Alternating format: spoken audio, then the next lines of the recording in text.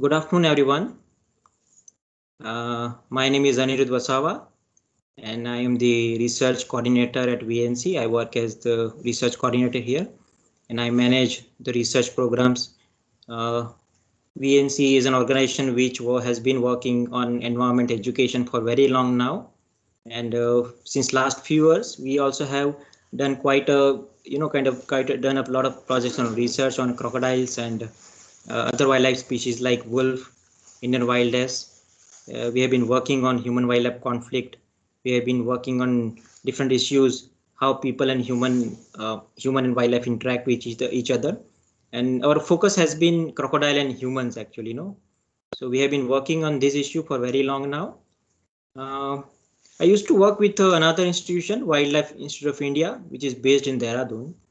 So I was working with large carnivores there. So I was traveling throughout India and I looked at different places, you know. So wherever I have gone, I have seen that there there has been a, there has been a conflict between humans and wildlife. So when I was visiting back in Gujarat, I was visiting the central part of Gujarat, that is Charotar, which is a part of uh, Khera district and Anand district. It is a very fertile area. Okay, so I was visiting that place. I have studied in that place so when I came back here and we were visiting this place, uh, we came, uh, uh, Dhaval who is our managing trustee, he took me to a place, uh, a village, a Deva village. Okay, so I went there and we saw this amazing, uh, you know, relation. The pond was, you know, there was a very substantial population of crocodiles. And interestingly, the people living around that pond were existing you know, quite peacefully with those animals, those crocodiles. Kids were playing nearby. Some of the women were, you know, washing clothes. Uh, livestock were uh, going inside the pond, drinking uh, water from those ponds. And there were a lot of crocodiles in that pond.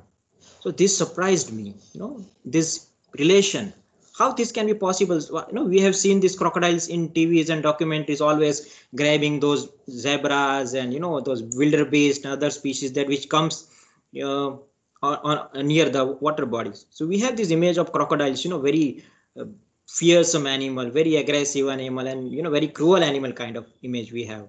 But here I saw those animals, you know, lying around, basking, and this was really surprising. So I thought of like going a deeper inside this relation, and we came across this relation exists throughout the landscape. People and crocodile have been surviving this area for very long now and they have been surviving with least conflict. I wouldn't say that there is no conflict. There are some incidents where the crocodiles have attacked on people, but there are compared to other places, it is very few. Okay. So we started this project in Charotar, uh, uh, basically monitoring crocodiles, their burrows, their nesting behavior, their breeding behavior. Also started studying human and crocodile relation.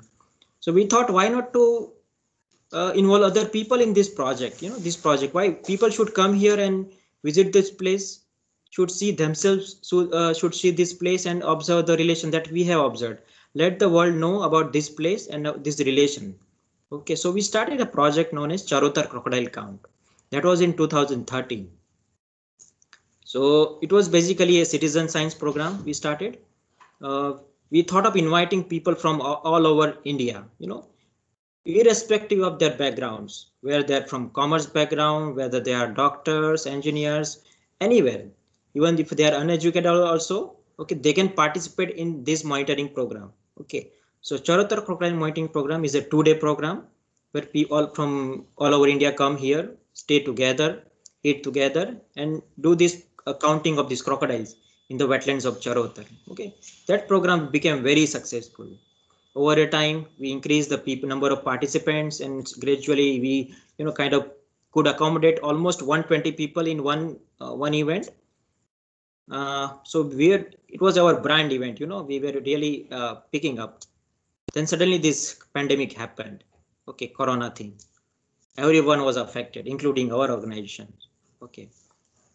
We the donations were not coming okay their businesses businesses were not working so donations were not coming we had to really struggle for funds to work to keep on the work okay and uh,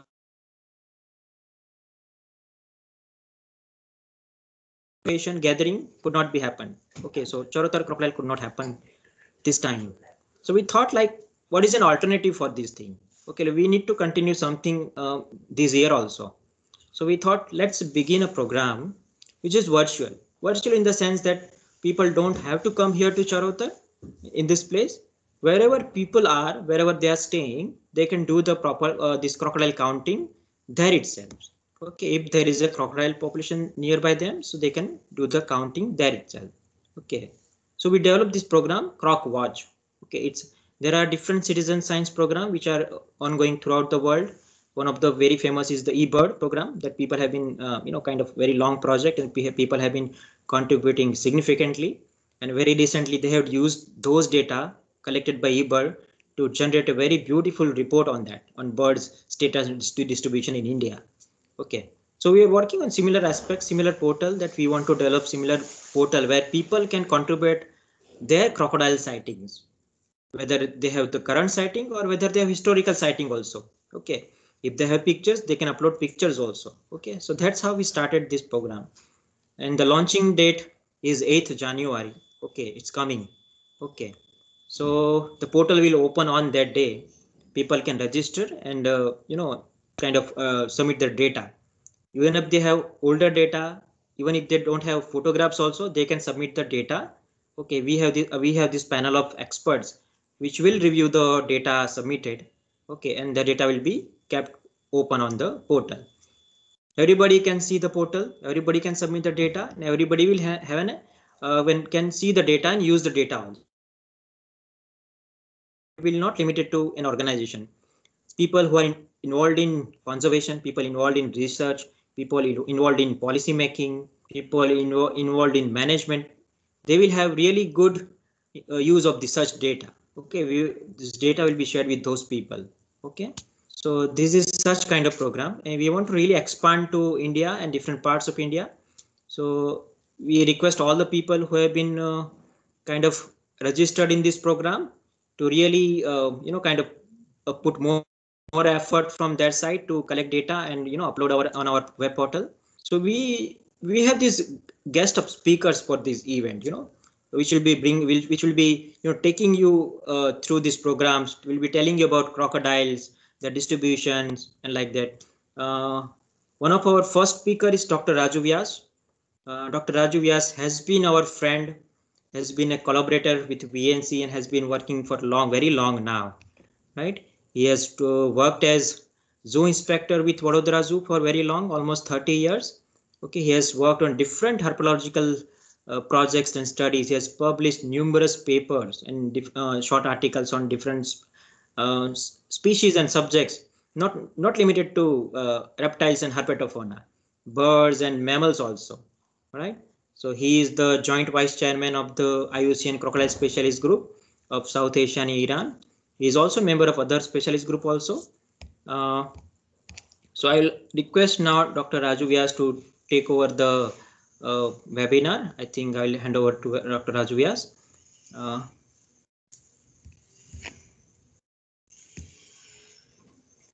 Hello friends.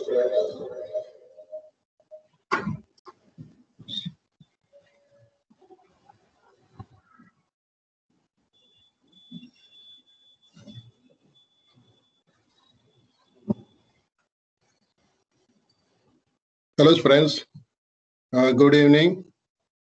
You all of you know there's a pandemic, so we can't uh, lecture face to face.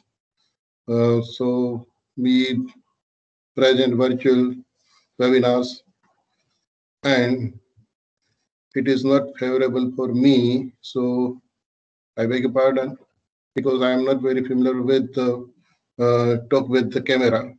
So whatever I have that I've delivered to you, if you have any question at the end of the my talk, you can ask me. So if I have proper reply, I can give you. If not, then we have to find out uh, a solution because all the questions we don't have any answers. There are so many questions about crocodiles uh, because we know We know that this is giant reptiles, very aggressive reptiles, which live in rivers, ponds, and many water bodies. If you are in Saurashtra, if you are in Gujarat, if you are in Karnataka, if you are in Maharashtra, if you are in Tamil Nadu, you all of know how is mugger problem in everywhere. If you are in uh, bank of Ganges, if you are live in the bank of the uh, Brahmaputra, if you are live nearby the Beas, then you know about the Gavial gangeticus, the long-snouted crocodiles. And if you are from Orissa, Bengal, Sundarban, Andaman Nicobar, then you know about that salty crocodiles.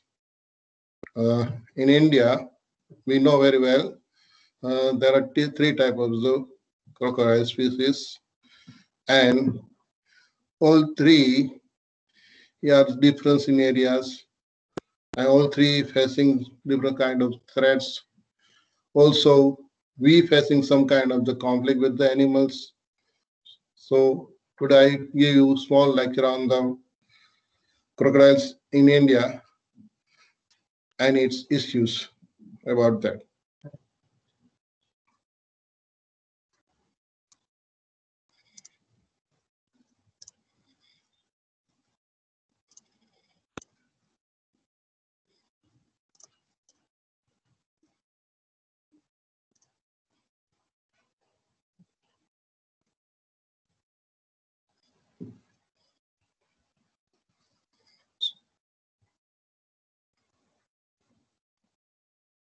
Today is date 5th, 2021.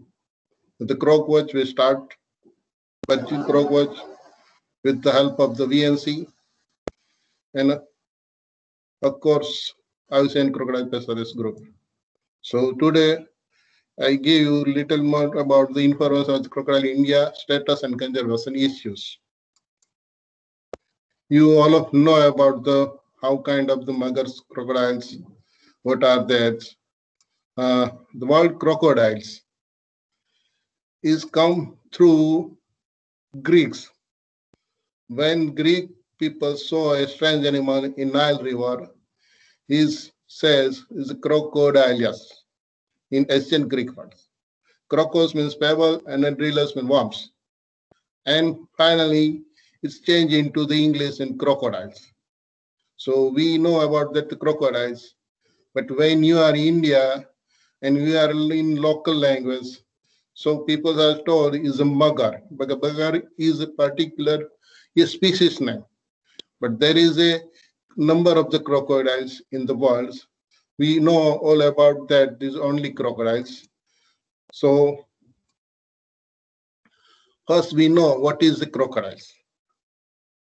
The crocodile is a tetrapod vertebrate animals belong to the class Reptilias. Now, this problem tetrapoda means they have four legs. The vertebrate animals and belong to class reptiles. Now we question about that. What is reptiles?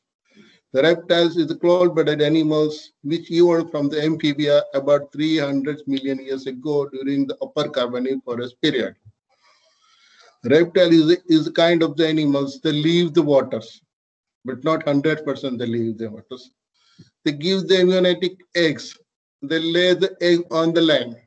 The egg, they lay the egg with the cover, calcareous cells. So reptile is the first vertebrate animals. They leave the waters and start to live on the land. The crocodile evolved about 200 million year ago during the upper Triassic period. We know about that evolutions gradually from invertebrate to the vertebrate and vertebrate to the species and species even from the amphibia, amphibia from the reptile and reptile to the birds and mammals. So today we are talking about only crocodiles. The modern croc evolved from the Archosaurus animals. Uh, we know about the Sarcosuchus dino-eater crocodiles. This very large one. His head almost compared to the human being size, five feet long. He is all father of the, all the crocodiles. belong to all the crocodiles evolved from the Archosaurus. Now question is, what is Archosaurus? The evolution Archosaurus shows start from the early Carboniferous from the Permian period, and then Archosaurus divided in different groups. So if you know about the reptile, then you know about the what is reptile. Then you know about the reptile, then you know about the how they classify reptiles. The basic classification of the reptiles is basically on the size of type of the skulls. So first Anapsida skulls evolved from the Icosaurus. Anapsida skulls means they are the, all the chelonians. Then evolved other reptiles known as the Synapsida skulls. Synapsida reptiles is is the reptiles which look like a mammals type of the reptiles. So many dinosaurs belong to the reptiles and look like a mammals reptiles. This having a Synapsida scales. But our crocodiles having a Diapsida skull. Diapsida skulls having only the living reptiles. Today we know about that snakes, lizards, Tuatara, crocodile, these are the Synapsida skulls. Okay, what is Synapsida? We know about that. Then we go to the modern reptiles. Modern reptiles are evolved. You know that in Jurassic time. The order class reptiles, first the evolved turtles, then Rhynchocephalias, then Squamata ansauria. Uh, this is the citizen science token. So we think about what is cometa and what is sauria. Squamata is kind of the reptiles we consider as a, those having a look like a lizards. These are the lizards. And the also known as the lizards. Then the saurias, squamatas further divide as saurias and serpents. Serpents we know very well, serpents with snakes. Sauria means numbers of lizards. Then crocodilia. The crocodilia evolution we see first Tuatara evolved, number one, then the lizard, then snakes, and a parallel crocodile also. The crocodile very close to the birds. Okay, shape of the skulls. Now, how we identify crocodiles? First, we know about that the shape of the skulls. If the skull shapes is look like a V shape, just like a upper one. Those are the crocodiles. Those having a U type of the skulls, those are the alligator and caiman. And those having a sharp, long snouted, those are the gavialides. So if you look at the type of the crocodile, further crocodile is classified in three families crocodilidae, alligatoridae, and gavials. And there is other long-snouted crocodile known as a tomistoma. But if you look at external characters of the animals, the Tomistida is very close to the true crocodiles. But if you look at to the molecular science, Tomistoma is very close to the gavials. So there are three known family, Crocodilidae, Gavialidae and Alligatoridae.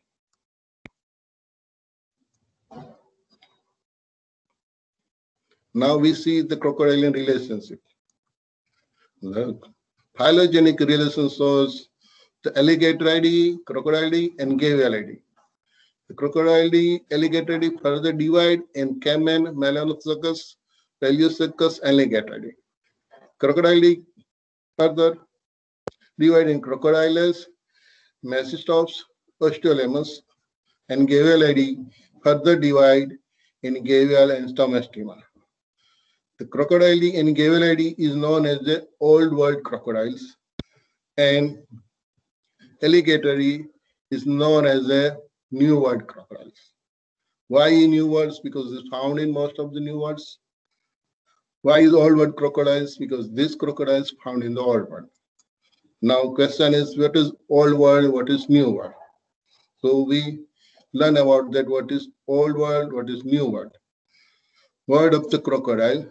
Now we think about how many crocodile species exist. There are 24 known species of the crocodiles. Now question is that, there are 24. Then the molecule science says no, there is not 24 crocodile. Molecule data shows there are more number of the crocodiles. These are the cryptic species. Those are the we can't identify on morphological. We can identify genetically molecules. They have some kind of the difference. There's some kind of the identical mark but that's require most experienced eye. So nowadays, Alligatoridae having four genera, eight species, Crocodile having three genera and 18 species, and Gavialidae having two genera and two species. Uh, why we talk about the genera and why we talk about the species? Because in science, uh, scientifically, each and every species identify on the base of the two names. Name is uh, one is the genera and then the species name. So uh, if you talk about the scientific name, scientific name is universal name because local names there are number of the different names. If you go in different area, they say difference name because there are number of local names. So if you talk about the scientifically, if you talk about the conservation, if you talk about the species, then you have to know about its scientific names. Okay, now we see IUCN global status of this crocodilian species. According to IUCN global status, they classify in different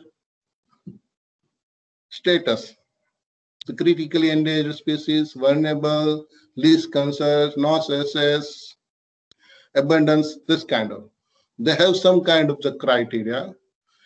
In each and every place, IUCN's members are sitting there and they classify each and every living organism on this classification criteria. They have set criteria. They decide why species is critical endangered, why species is endangered, why species is vulnerable, why species is least concern, why species not assessed. Because it is very important. When you know this is critically endangered, then means this species very important. This habitats is very small number of the animals there. If it is considered vulnerable, then is there is some kind of is there. Least concerns means the species in good number in nature. There are number of natural habitat. They are very widely distributed and not assessed. We don't have any information about the particular organism. Then we consider as not assessed. So these are the global criteria of the status to know about each and every species. Now we talk about the crocodile. There are seven critical and endangered species, almost 25 persons. Some are most of the critical endangered, one is endangered. Now we talk about the vulnerable, four species are vulnerable, 11 species are least concerned, and six species still not assessed. It means this species information we don't have. So we know about the species, we know about the, the species. It lives somewhere in nature somewhere in natural habitat. So these are the crocodilidae and these are the gavialidae if you look at them with scientific name there are the eight species in alligatoridae some are known as alligators some are known as a caiman some some known as a Melanosuchus niger, some known as a Paleosuchus. Is dwarf caiman. Second family is Gavial They have the two members, Gavial gangeticus. One is found in India, known as Garia. Other member is Tomistoma schlegelii found in Malaya, known as Malaya gharial, also known as the false crocodiles. Then we talk about the crocodile, a true crocodile. There are true crocodiles. How is called the true crocodile? Because it has the typical jaw, typical body shape, and everything. So there are 20, 18 species of the true crocodiles. They found in different areas from America, Africa, India, Northeast Asia, and up to the Australia.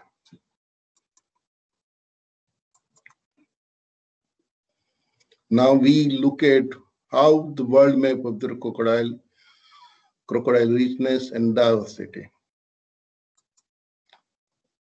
This is the world map from North America, these are the Central America, these are the South America. The green part is Africa, this dark yellow part is India, known as Asia, this part is China, this is Northeast, and this is the Australia. So crocodile distribution on the warmer part of the world, most of the found on the warm part nearby the tropical areas. There's uh, some kind of the temperatures very well. If you go on the North Pole or South Pole, you not found reptiles, not found crocodiles. If you look at the distribution of the how they distributed in each and area, because we know the world is further classified five different continents. If you talk about the South America, there are five species. North America, there are two species. In Central America, there are three species. Now look at the Australia, there are two species. Africa, there are six species and India, Asia, China, and Northeast, there are the nine species. Why talking to the global map with this number of the species? When you talk about the crocodiles, so you know about the various high number of the species is there. If you look at to the American continent, they have good number of the animals, number of the species Africa is six number. If you look at the India to Southeast Asia, there are nine species, and Australia two species. Though which regions is the hotspot for the crocodiles? So if you talk about the American continents, South America and North America, so they have seven species of alligator and two four species of crocodile if you talk about the India to Southeast Asia, West Asia, then there is the alligator one species, crocodile six species, gavial two species. We talk about the Africa, they're the only crocodile six species. And you talk about the Australia, there's the crocodile two species. Why these numbers and names are important? Because if you look at to the alligator and crocodile found in uh, America, so they have the kind of the diversities there. Africa's only have the crocodiles. There are six, the six species of diversity there. If you look at to the India, to the Northeast Asia, Malaya, Iran, up to the Papua New Guinea. There are the very rich area for the crocodile species. There are very diversifiers because you can find there's alligator is there, crocodile is there, gavial is there, and you talk about those are only two species of the crocodile. So from our region, India to the Northeast Asia is very important for the crocodile hotspots. If you want to see number of the crocodile, if you want to know about the crocodile, then you have to visit this area. You can find number of species within a short distance. Now we're talking about the common subject about all crocodilia because the crocodilia is reptiles, they're the cold-blooded. So first we talk about the cold-blooded, what is cold-blooded and what is warm-blooded. We can identify on the base of they have the cold-blooded, because they have the warm-blooded, they have the warm blood. What is in simple term cold-blooded and warm-blooded? The warm-blooded animals, they have the kind of the body, they have the kind of the metabolism. They produce some kind of the temperature, inner temperature. But in cold-blooded, they can't, they have the metabolism very low. They can't produce temperature. They have no constant temperature. They depend on the external temperature. So they're known as the ectothermics because they require thermal energy from the outside. The body temperature range between most of the crocodile at 25 degree to 35 degree in non-adult. If you look at the adults, they have a little bit higher temperature they require. Metabolic rate approximately 60 times lower than the human being. So cold-blooded animals, metabolism very low. Metabolism is required on the temperature if you consider about the temperature and metabolism, if you think about the reptile study, then you know the basic thing about the is the cold-blooded animals. So whenever you go in the field, if you want to see the animals, if you know about the external temperature, environment temperature, then you can success to see the reptiles. If you don't know about the external temperatures, environment temperature, then you can't see any animals. Here I talk about that. Why? Because when you want to see, when you want to see crocodile, why we go in winter? Because number of the animals found basking on the banks of. So we can easily see the animals.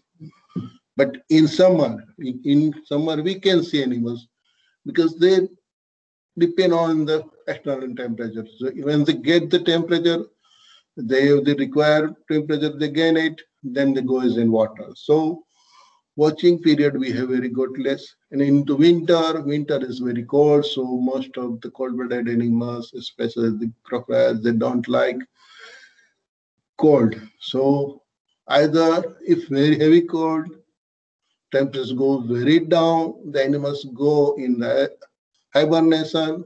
If temperatures going up, then you go in a hibernation, low temperature, up temperature, then go in the estivation. But if you want to see in India, especially crocodile, you have to choose the winter period because winter period number of the animals found in the habitat very easily. Its temperature is lower, heart rates now, second things, diet and nutrition. Normally, all the crocodilians are the carnivores, mostly nocturnal hunters. They hunt at night. Often they're scavenging on the dead body, decaying animals also, even they have the predated animals. They grasp the prey, they have the sharp teeth, thrust to the December because they have no any kind of proper teeth zone. So they have the ones the catch the prey and the animals centrifugal create a rotation. So there's a large prey, there's Decembers, and then they eat it. Major prey of the, the crocodiles are mammals, birds, fish, invertebrates such as the crabs. If you think about the small animals, small size of the animals, they survive on invertebrates, insect, and and gradually then they grow large one, then go for the large prey. Normal intake of the crocodilian is 3 to 5 percent of the total body weight. So they require less food, less energy, and digestion depend on atmospheric temperature. If you keep any reptile in captivity, if you have work in the zoo, then you have to know about that. Certain temperature is goes up, then they require food more. If temperatures go low, then they require food very low. So is the basic things. And all crocodile have presence gastrolith what is the gastrolith? It's a kind of the small pebbles found in the stomach of the animals. Still, we don't know what is the use of this gastrolith. It must be for the water buoyancy. It must be for the help it into digestion. But most of the animals they have the gastrolith found in stomach. Small number of beautiful pebbles. These pebbles sometimes very smooth and everything due to the high acidic value of the stomach juice. pH value range between 4 to 2. If pH value we have maintained, then the animals have found very well. If pH values goes up, then we can't find animals. So in water, fresh water, the pH value is very important for the animals especially there are many reptiles. Now we talk about the reproduction. Most of the crocodiles are oviparous, all the crocodile oviparous, but there are some reptiles, non-crocodilian reptiles, they have the viviparous. Some crocodiles have the mound nest, some crocodiles have hole nest. The lay 20 to 60 eggs what is mound nesting and what is hole nesting. Those crocodiles dig a small pit on the banks of the water body and the lay eggs is called the hole nester. But some crocodiles, especially the alligators, especially the saltwater crocodiles, they have the mound nesters. They collect the debris organic debris on the banks of the area and they make a small hump mound like structure and lay eggs in between this mound. So all the eggs incubated in normal thermal activities. Incubation period usually is found 60 to 7 days because it depends on the external temperatures. If temperature is little bit high, then incubation days goes low. If incubation external temperatures is low, is cold is there, then incubation period is prolonged, lengthwise go little bit high. In all crocodile, we found parental care either is by female, either by his males. It depend on the species. And most important things, almost all have TSD, temperature dependent sex determination. What is TSD? TSD means we noted reptiles' eggs incubated by the external temperature. If temperatures goes little bit high, then sex from these eggs are different. If goes temperature very low, then sex, embryo sex is changes.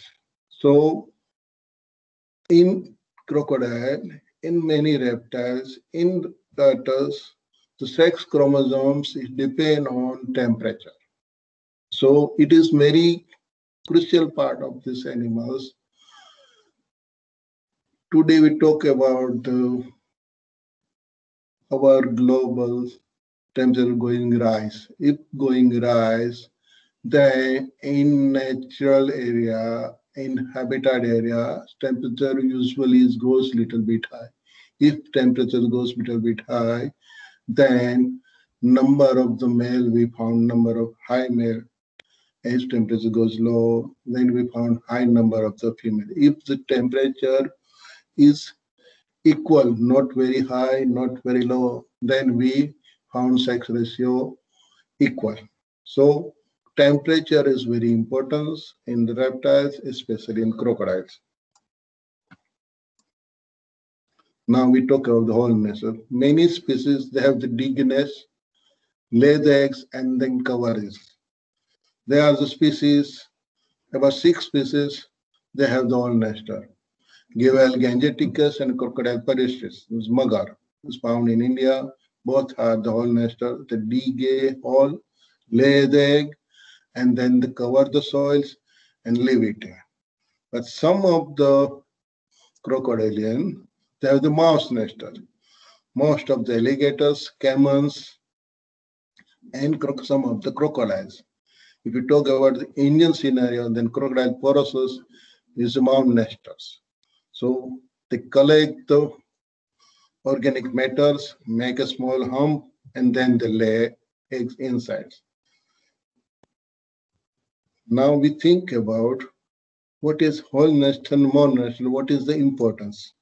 But some of the animal species, Acutus and Rhambiferus, they have sometimes they make a hole, sometimes they make mound nesters. Now, being a layman, we think about what is the importance of the hole nester and mound nesters. If you think you are the crocodile conservationist, you know about this species in my area is hole nester. So you have to look at the banks are very well, proper, non-polluted. If they require sand, then sandbar is required there. Some crocodile species, crocodile pastures, they have require loose soil. So on the banks of the natural water body, they have to maintain properly, then, then this species breed there. If you talk about the mound nesters, then what is importance? If you talk about the crocodile porosus, if you keep a species in your captivity in a zoo and you like to be breed them, but if you not provide breeding materials, especially vegetation, dry vegetation, organic matters, so animals can't activate. I have good examples uh, heard from the Reuben Davids the in Ahmedabad Zoo, Kankaria Zoo, they have the very good number of the crocodiles. Ahmedabad Zoo is the first zoo they breed crocodile specialist magar after the Jaipur Zoo. And he also the breed crocodile porosus, salty crocodiles. So when we discuss with the late Reuben David, he says, as usual, I go in round, I check the every cage and I make cleanliness. So it is a standing instruction for Reuben David. I want to see in morning every cage should be clean. So any keeper go there and they clean the nest. Uh, cage everywhere. Whatever they found, debris, leaves, everything, they can clean it. Similar practice going on the cage of the crocodiles, salty crocodiles. So people are going there and they clean it. But somehow the one keep, animal keeper who attend the saltwater crocodiles is go and leave. So case no, unattended. No one can go there and clean the cage inside because crocodile porosus salty crocodiles is very ferocious. So suddenly come from the water and they attack. But those this keeper keeper they know about the behavior of the animals. So he very carefully clean the cage outside the everything. But any of the keepers go on leaves. So every leaves was pulled from the tree, twigs, everything is as it is. So without cleaning of the cage, animals is activate within a 15 day and female make a mound on this cage and the legs and they get the breeding success. Now they realize in captivity. So cleanliness is not every time necessary because we people are believe dry leaves, dry leaves, if it is found in the cage, if it is found in somewhere, so it is dirty, but it is not dirty. It is some requirement for some breeding activity, especially here we talk about the salty crocodiles. If you talk about birds, there's the twigs and dry twigs and leaves is necessary.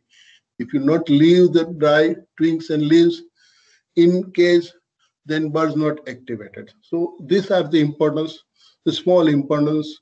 Why hole nester we know about that? Why we know about which species is the mound nesters?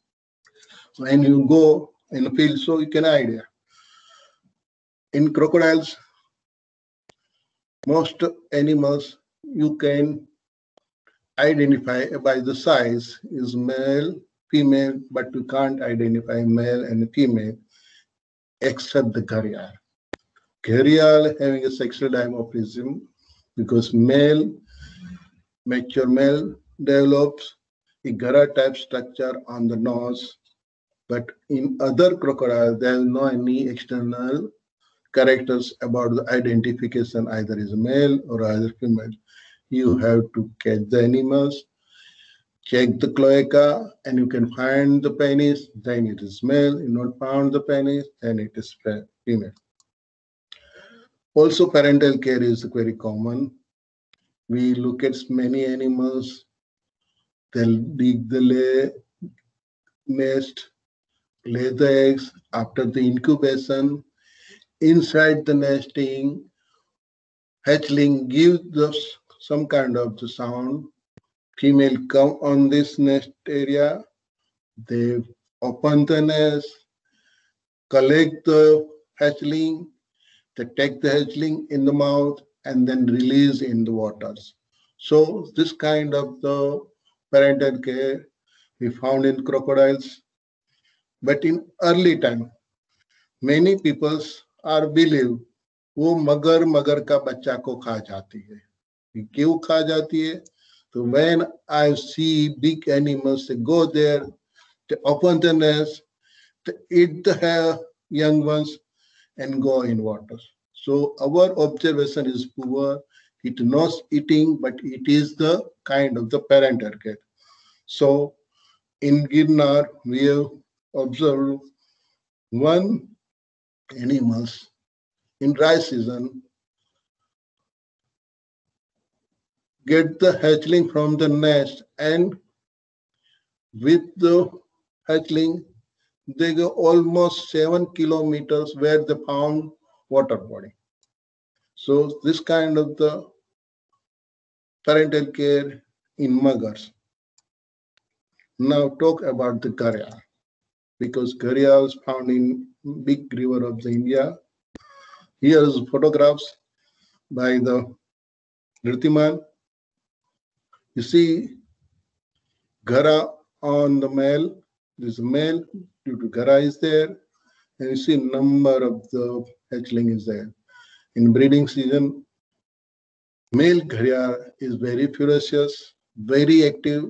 They take the care of the all the hatchling and they take up to the requirement of the special care of this hatchling parental care is there, then it's definitely male or female is very aggressive because they have to save the hatchling.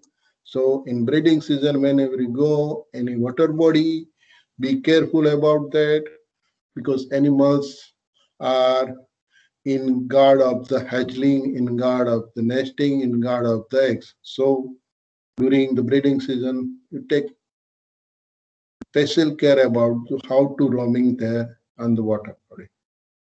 Now talking about the integumentary sense organ. This is kind of the organ found in the animals on the skin. You see this is the mugger hatchling and small, small, small tubercles is there. In each and every scale, there is a tubercles. This is called the sense organ. So animal can detect the water pressure, animal can detect the predator, animal can detect the prey. But if you know about that, if you are the know about the, the true crocodile, then integumentary sense organ they found all over. But if you know about alligator, the alligator and crocodile, they have the basic difference that in alligator, you integumentary sense organ found only on the head region and legs. And on the ventral side, you can't find any integumentary sense organ, but in true crocodilia, you found all over the body. Various technique and method of the survey assessment. No doubt, Anirudh Vasava will we talk about how to count the animals, number of the animals and the water body, what kind of the technique is there, how, which kind of the method there, how we assess the mugger population. But we know about that, how to, we can know about detail, but here we talk about that the habitat assessment analysis, this kind of the method, you can assess the animals cod population about the area by the habitat assessment and you can analyze such kind of the habitat is proper there so animals may be there maybe how many numbers are there. Also there is the day count bus we are going in 8th and 9th 10th the day count is known as bus count. The number of animals we can count one two three four what are basking on the banks of the river banks of the water body. It's called the count. There is a night counts spotlight night survey. It is very precise method so in night when you go in water body, use the powerful torchlight, then you can find the glow eye of the animals. Easily you can identify that there are the animals is there.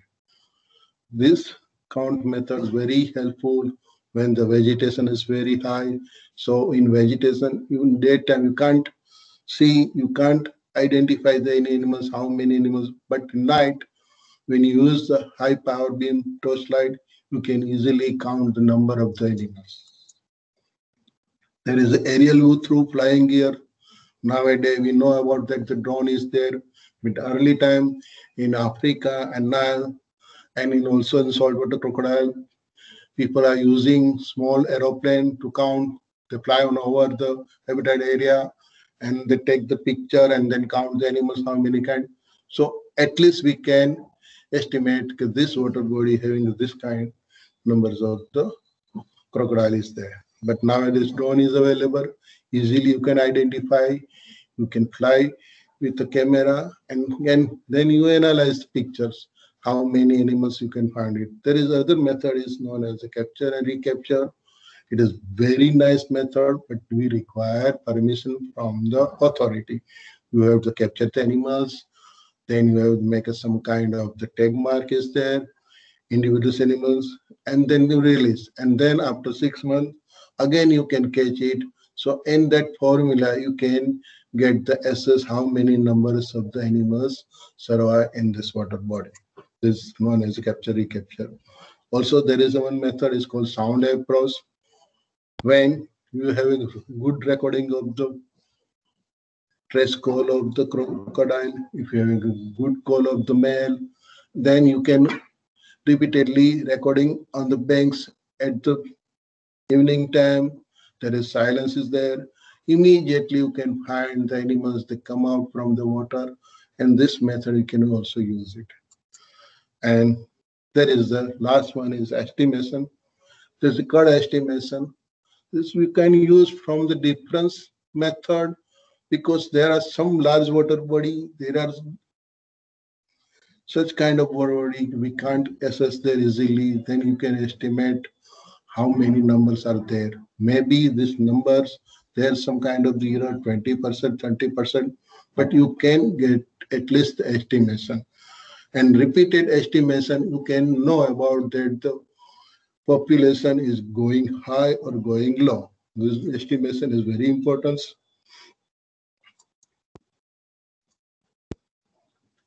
You use all this kind of the method day count night count estimation use sound call every capture every capture but there are some factor affecting to in count to precise and accuracy this which factor they have to we have to know about that. This air temperature. If air temperature very low, so in day count, basking count, you found less number of the animals. If water temperature is very low, so most of the animals they come out outside the, the basking. So kind of the water temperature, you can find number of the animals. So these are the factors. They effect on the our counting. It is right, it's correct. Sunshine. If you go in the count day, that this is very cloudy environment, number is clouds is there, no temperature highlights. So animals not come out from the waters. They live in the waters.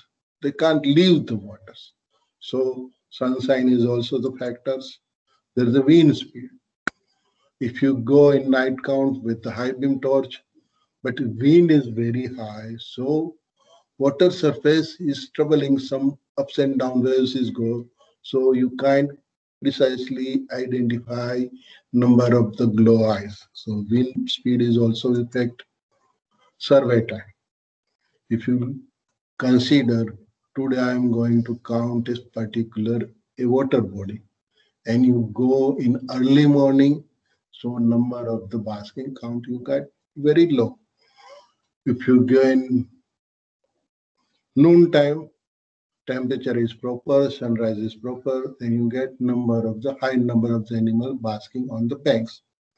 If you go in evening, so temperature is go drop, no sunlight, so you can't find any animals. You can find animals very low number. So these are the factors the affecting this all kind of the method. So when you use any method about the counting estimation, so this factor also you have to consider about that. And last one is tide and water levels. Many time in Charotar, we go in the certain particular area. So this water body in, la in last week we have seen is water level is very low. So we can't decide to next week we have to count this water body and suddenly within a three or four days entire water body or with the water. So area is goes very large, very difficult to approach there. Also num water is there, high numbers, plenty is water, so number of animals we can't easily visible. So and if you talk about the tide, if your tide is very high and low, so it's effect on the number of uh, our counting. Croc versus others we know crocodile is the apex predator. He predate each and everything, whatever's come on the banks, whatever's were found in the waters. But even the crocodiles have some kind of the enemies. Most of we have seen the crocodile lay eggs. And these eggs predate by the many predators, especially mongoose, monitor lizard, they somehow they find out the crocodile nest, they open the nest and eat up the eggs. Hatchling and juvenile. They have the more number of the predators. Hatchling and juveniles, predate by small cats, uh, large heron, egret. They also easily catch the juvenile hatchling. And then go sub then then is predator goes with big numbers. So if you look about the eggs, then eggs, they are the invertebrate, especially ants. Ants somehow they find the eggs, they make the hole in the eggs and they eat up the eggs. And reptile, especially monitor lizard, they somehow they find out the nest, they destroy the nest, they eat up the hatchling, they eat up the eggs and everything then go somewhere else, then the reptiles, birds, storks, mammals get there, the kind of the somehow they predate on that. And cannibalism is common, each and every crocodile, most of the species, the cannibalism. So from egg to the adults, there are the number of the predators, in engage animals predated by the lion also. Now we talk about our home crocodilians. Three crocodile found in India. One is the mask crocodile. Second is the salty estuarine crocodile. Third one is the long-snouted crocodile known as the gharial. All the crocodiles is legally protected under the Wildlife Schedule Act as Schedule 1. Also, it is status-wise protected by IUCN Red List. Mugger marsh crocodile is vulnerable. Salty crocodile is least concern. And long snout crocodile gharial is critically endangered. This is long snouted crocodiles. They have very long snout. They're found in big rivers. Most of the Ganges, Brahmaputra, once upon a time they found also in Indus but now there is no any crocodile in Indus. We see the distribution, global distribution. Current distribution is found in India and Nepal. Earliest days they found in Bangladesh, Bhutan, Pakistan, Myanmar, but now is extinct there. So now less than 200 animals survive in nature.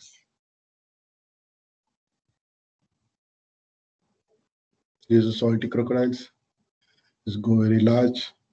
We found from Orissa coast to the Sundarban and further Andaman and Nicobar. Also found Sri Lanka and up to the north coast of the Australia. This very large size of animals. Its distribution is very large. Here you see distribution range from India, found from Sundarban, Sundarban Bangladesh, Sundarban, India, then Sri Lanka, the north coast of Australia, and all this Malaysia, Papua New Guinea, all this Philippines island is the distribution range of the salty crocodiles. Salty crocodiles is one of the largest crocodiles. It grow up to the 23, 26 feet. This is low long. Um, few years ago, is found from the Philippines the size measure almost 20 feet long. You can imagine that how big is animals. It look like a small dinosaurs. This is a living crocodile found in captivity. This is salty crocodiles. Here's photograph. You can identify small hatchling. They grow about 20 to 20 centimeters and then they grow up to the 18 feet. So this kind of the animals from hatchling to the get growth up to the 18 feet. This is Indian known as a Zoo 3 is early days found in the MCBT, but now is died, is almost 16 feet long. These are marsh crocodiles. We know very well in 8, 9, 10, we can count from the Charotar whatever in, in area in India, you can count it and send the information, photograph, data, everything on our CrocWatch portals. This the distribution range of the mass crocodiles is found from Iran, Pakistan, India, Nepal. In early days, they also found in Bhutan, but now is not found there, and in Sri Lanka is found in all kind of habitats, small puddle to the large rivers, large lake and everywhere is one of the common crocodile in India. Now we look at the estimation, Mugger scenario in, in over a global scenario in, in India. The global distribution estimation says there are 8,000 to 12,000 adult animals in the wild. Uh, Iran says we have 200 to 300 centimeters there. Pakistan 500 to 600. India 5,000 to 8,000 animals is estimation. Sri Lanka 4,500 to 5,500. Bhutan, Myanmar, Bangladesh. Here we see the India geographically size very large in compared to Sri Lanka. Sri Lanka almost size of the Saurashtra, is half of the Gujarat size.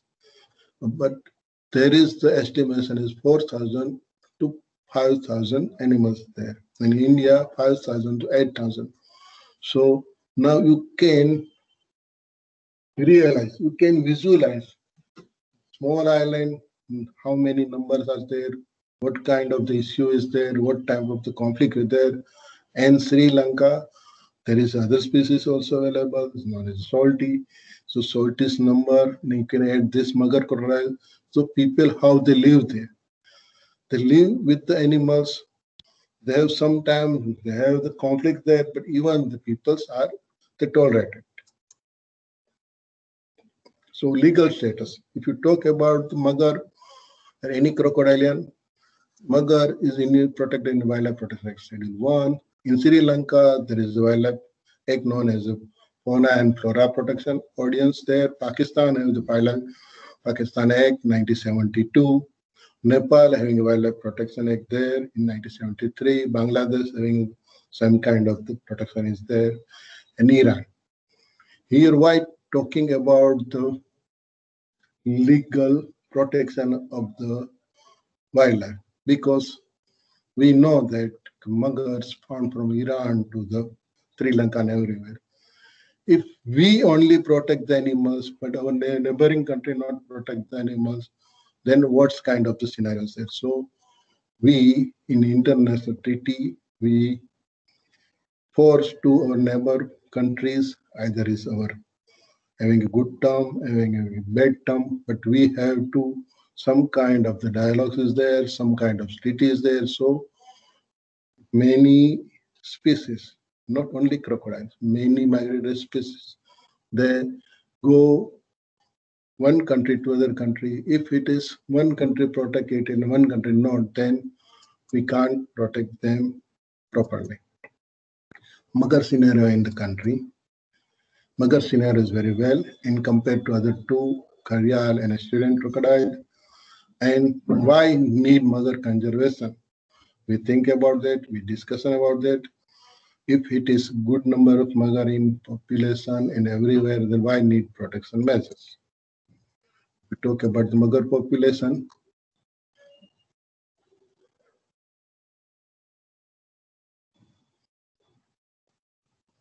In about 15 states, from Tamil Nadu, Kerala, Maharashtra, Goa, Karnataka, Uttar Pradesh, they have good number of the magar crocodile this measure crocodiles. If the good number, then then problem was that some difference kind of. Why populations go up and why go down? In 1972, there is a, one project launched by the government of India known as a rear end release. In Hyderabad, there is one established institute known as Center Collaboration Center Management Training Institute in 1972. After the law 1972 Protection Act in entire India, scientists and conservationists and naturalists they get the numbers of the, how many numbers of the Indian in, in India crocodile are survived. So most of the all three species are going deplete, very low number of. Then the government of India launched a project known as a rear end release. So all three crocodile species protect under this law and the, all three species in 1972 after 75 they collect eggs they give the protection they rear the hatchling in captivity after the one meter then they release into restocking and a rehabilitation program was going on that. Nowadays, whatever we see in our water body, either is career, either is mother, either is salt water, is thanks to this project.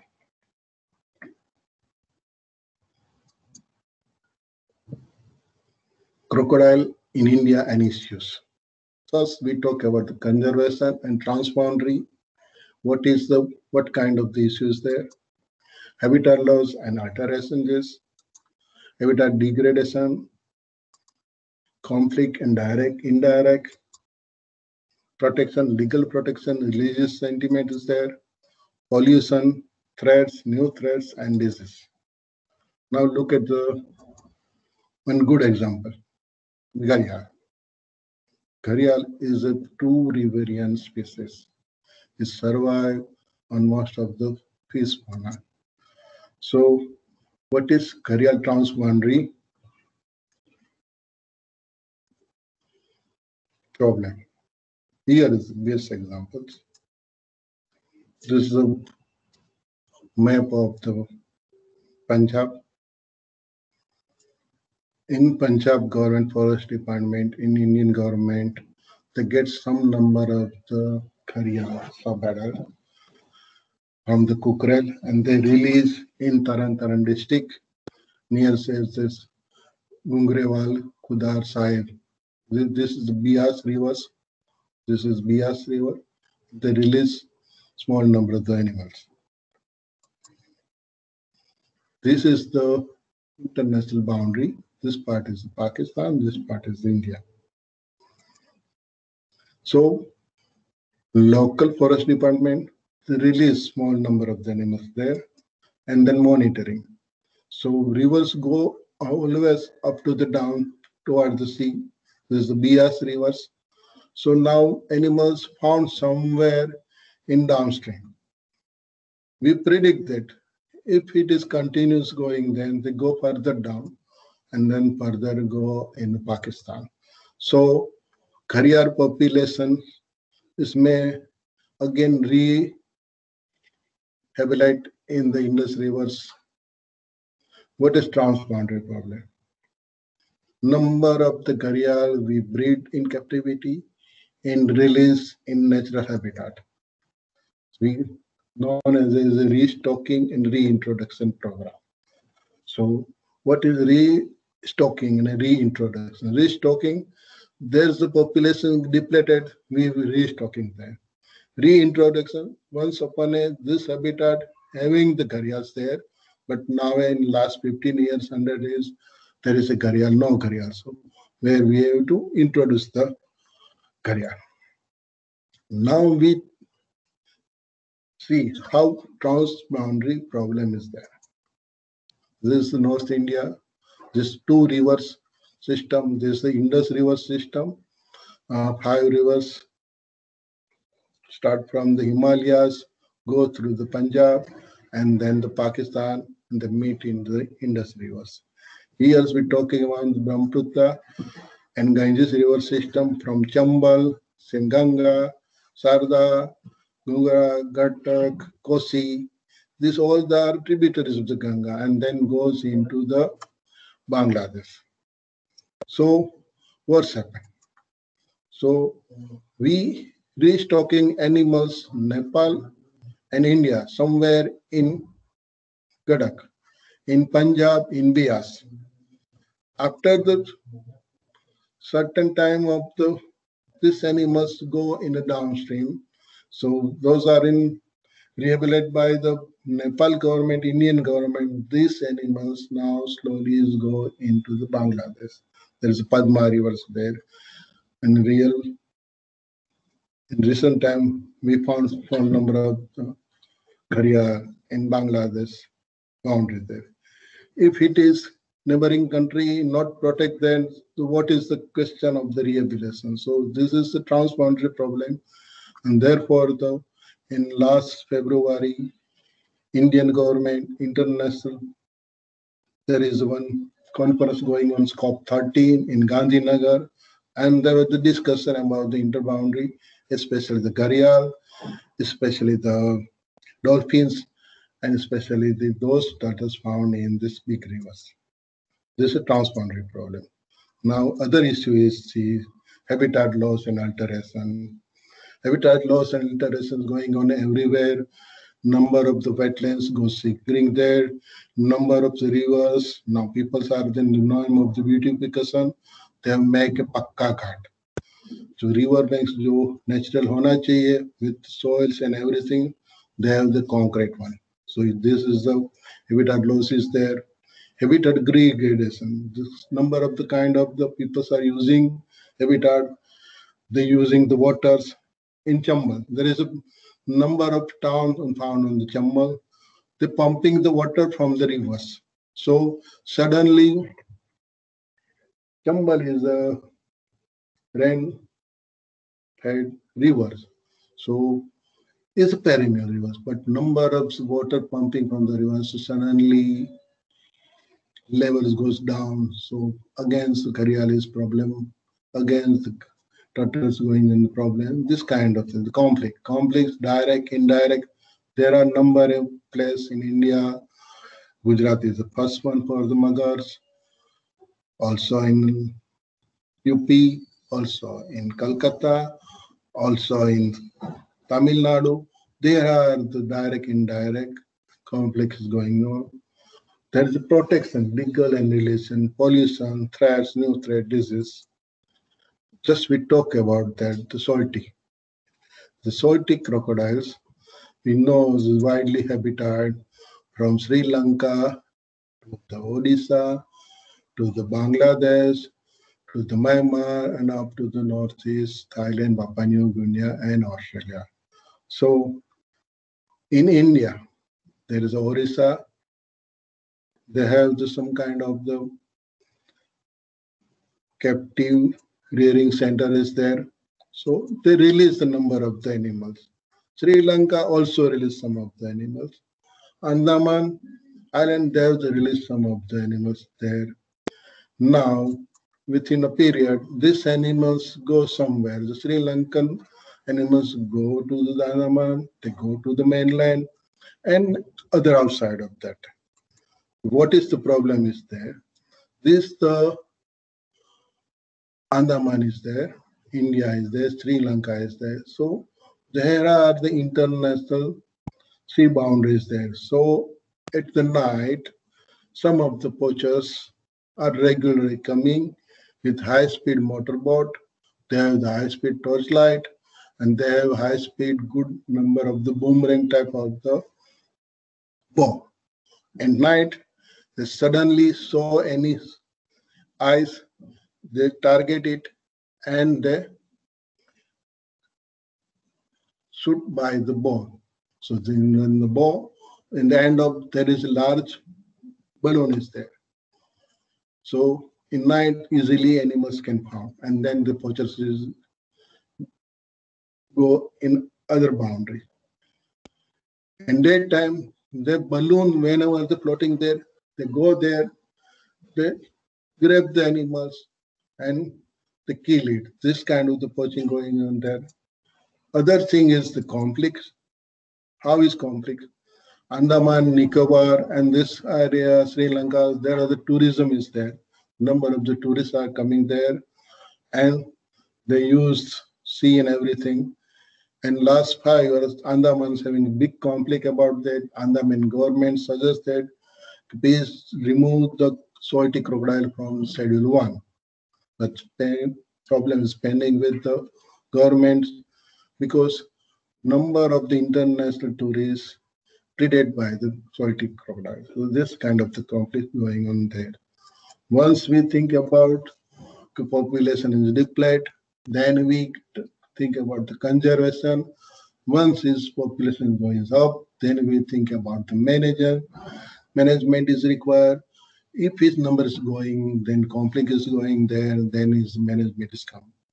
In Baroda, in Viswamitri, having a good number of the Magar crocodile is there.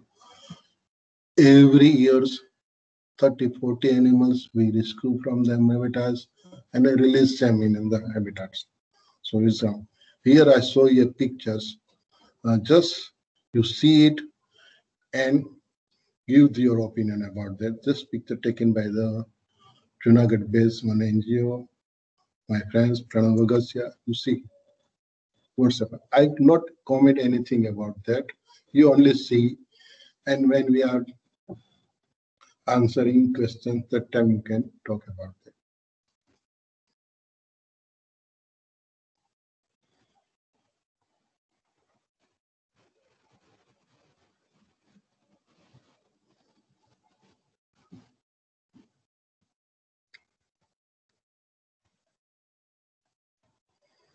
This picture is taken in uh, 17 July 2020.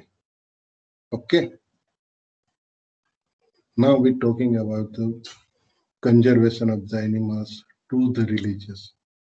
In Gujarat, when we know about that Magar crocodile is vehicle of the Ma Khodiyar. Also, we know about that the Namami Devi is a goddess of the Narmada rivers. His vehicle is mother also is there. So we have some kind of the sentiment. So animal can conserve on the religion sentiment. If it is government, if it is local or not, think about the conservation, but the religious sentiment is there. So they have know about that animals should be conserved, animals should be live in the water because there are some ecological importances there. This is Gujarat. Now we talk about this Goa. In Goa, there is a, some kind of the ritual is there before the cropping starting.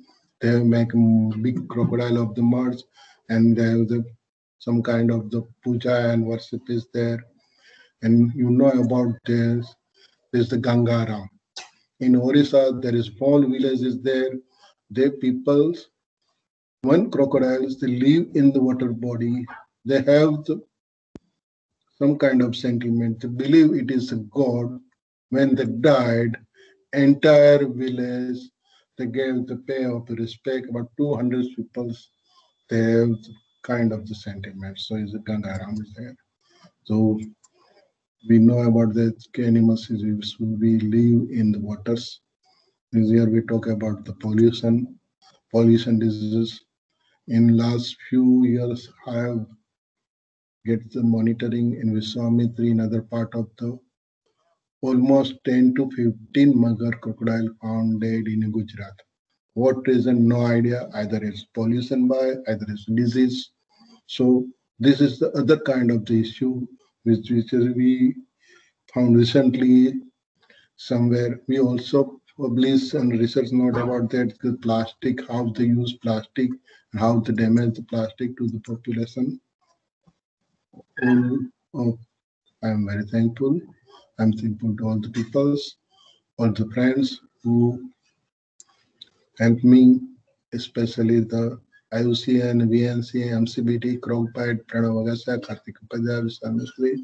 They have always supported me. And I'm thankful to everyone who believe in crocodile. This is just general beginning talk about the crocodile conservation. Crocodile found in India, what kind of the small issue with animals, is population going depleted, and we have to worry about that. If population going high, then we have to worry about the conflict about that. So this kind of the scenario with the crocodile in, in India and everywhere. But I am very thankful to everyone who believe in crocodile conservation. Thank you.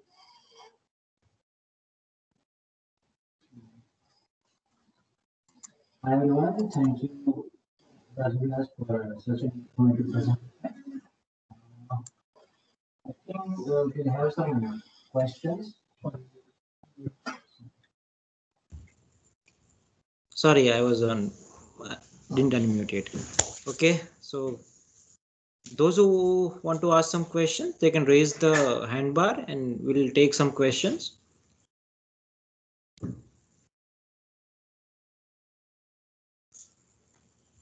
Uh, okay, Rupesh Sarkar has asked a question. Uh, just a second, Rupesh. We'll just. Yeah, Rupesh Sarkar wants to ask a question. Unmute. Uh, uh, I'm audible. Just a second. Uh, Dr. Uh, Vyas is taking a break. Let him come. Okay. We'll wait for another like one or two, just one minute.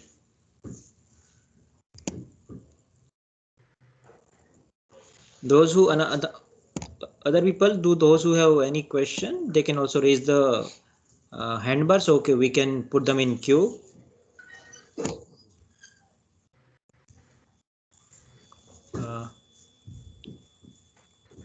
So we have a question from Rupesh Sarkar. Uh, yes, Rupesh? Yes, uh, I'm, uh, am I audible? Hold on, Rupesh. Yes, yes.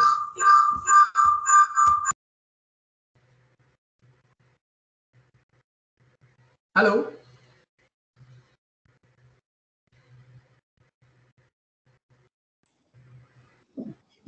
Yes. Uh, sir, I am at. Um, am I audible, sir? yes, yes, yes. Sir इस साल जो count होगा इसमें आप लोग physically किसी को भी अलाउ कर रहे हो ये जो क्रोकोडाइल काउंट के लिए Uh, Uh, I will take the question. So we are not inviting people from other parts of India. A close group, close group of our volunteers who will be conducting the census here this year. Okay, so we are not inviting people from outside uh, Gujarat or like other parts of Gujarat also. Okay, it will be a close group of uh, volunteers, local volunteers who will be doing this uh, Charotar crocodile count this year. Yeah, right. Sir, I am from actually, I am talking from Gujarat itself. I am from Gandhinagar and I really want to participate in this uh, crocodile census. So how it could be possible for me to come to physically, uh, matlab, uh, Uh, the physically? Rupesh, I think this time it won't be really possible. Uh, what what you can do is like we'll be having another crocodile count in the May month. Okay, it's a summer count. If this pandemic is allowed us. Yes. Okay, if the pandemic allows us, we may have the crocodile count in May, which will be physical, right? So in that that you can participate. Okay, we'll be advertising uh, like two months before we'll start adver- advertising for that event. So you can register in that event, and okay, but that that also depends on the pandemic situation, like uh, to what extent it allows us to conduct such event, right? Okay, okay, okay. Thank you. Thank you, Thank you Rupesh. Thank you.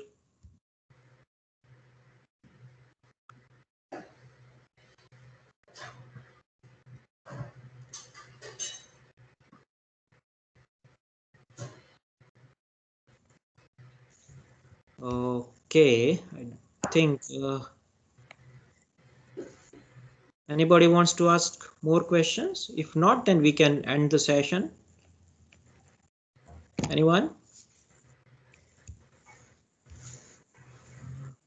Any question after the, this talk, we can, you can email to us. If it's possible, we can Yes. reply by the email also. Yes. Uh, yes. eh, So if you have any questions, if you don't have question right now, and if you have a question uh, after the session also, okay. So we'll share. Uh, you can ask. uh, Just email the question, and we'll reply to you in the email. Okay. So I think uh, we'll share our email in the chat section. Okay. Our email and even even our phone number also. If you want to talk to us regarding any of the queries regarding crocodiles, you can talk to us on that phone number. Okay. Just let me. Uh, give the email and the phone number.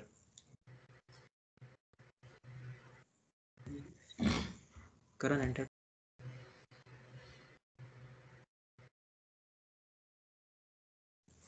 Okay, so uh, tomorrow we'll have another session. I'll be taking another session on especially on the tools and techniques of monitoring. Right? No, Maronak. So we'll be taking another session tomorrow at 4:30. Okay, so we'll be going uh, much detail into the tools and techniques of how to do a monitoring. So those people who are interested can join the session tomorrow at 4:30, right? Uh, okay, everyone. I don't think we have more questions. So I think I think we have already shared the email. Uh, that's my email. Also, you can add the I, I'll add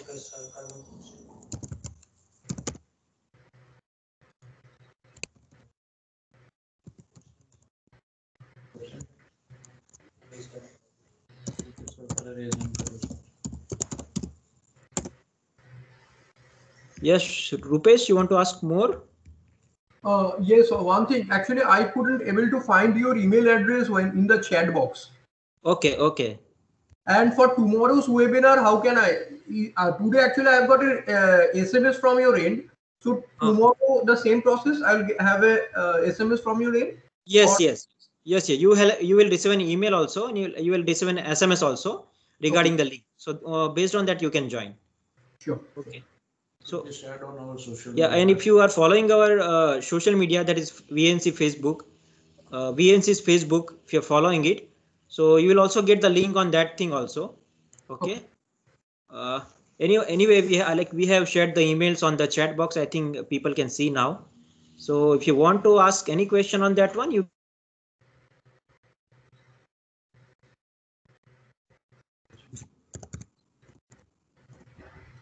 also I have shared the number also. If you have query regarding the event and the participation, then you can ask and on the phone number also.